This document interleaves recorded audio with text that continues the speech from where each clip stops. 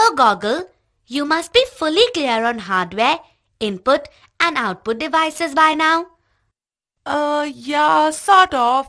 I know that the physical components of a computer or the parts you can see and touch are called hardware. Absolutely right. And some examples are? Well, let's see.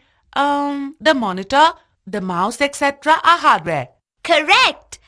But I'm still not very clear on the various input and output devices. There are so many of them, Toggle. Don't worry. Let's take them up one by one. First of all, what are input devices? Hmm.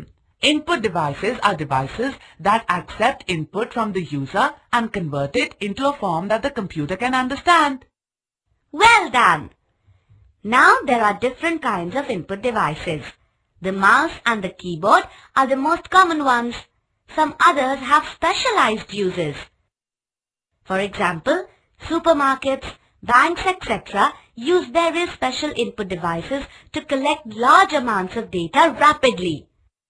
Such devices include barcode readers, magnetic ink character readers, optical character readers and card readers. What is a barcode toggle? Look at this toffee box for example. See these vertical bars? They together form a barcode and it includes all the information such as price, place of manufacture, etc. The barcode for each product is a unique combination of vertical bars that represents product information like the price.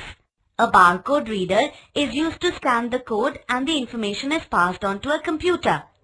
The computer uses the information to identify the product. Goggle, do you know what MICR is? I have read that it stands for Magnetic Ink Character Recognition. That's right. And what is magnetic ink? Uh, magnetic ink is a special ink that contains magnetic particles of iron oxide. Okay. A magnetic ink character reader is a type of input device that can scan characters printed in magnetic ink. MICR is used extensively in banks. See this check? The check number, bank code and branch code are printed in magnetic ink. Do you know how the amount written in ordinary ink on this check is read? How toggle? Ah, for that we use a device called an optical character reader and this process is called optical character recognition. My teacher told me. That's right, Goggle. Okay, now have you seen this sheet? I once filled up the answers to a quiz competition on such a form. Yes, such forms are commonly used in multiple choice examinations or quizzes. The boxes or circles are filled using a dark pencil or an ink to indicate the answers. This sheet is then fed into an optical mark reader which scans and prints the result. Another interesting input device is a card reader. Do you know what it is meant for? No toggle. Card readers are used to read information on cards such as credit cards and smart cards. Credit cards are example of magnetic strip cards.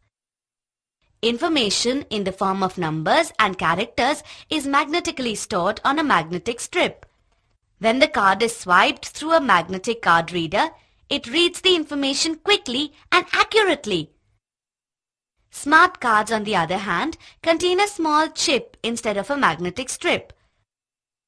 A smart card reader can read and write data on the card. Petrol companies and departmental stores use smart cards to keep track of how many points customers have earned by buying goods. So, that's about input devices. That was interesting, Toggle. Shall we take up output devices now? Yes, Toggle. I know something about output devices. Output devices convey information from the computer to the user. Absolutely. Apart from printers and monitors, some other output devices are LCD projectors, braille printers and plotters. An LCD is also called a liquid crystal display projector. It shows the output from a computer on a large screen. It is commonly used for displaying presentations during meetings and conferences. What's a braille printer toggle?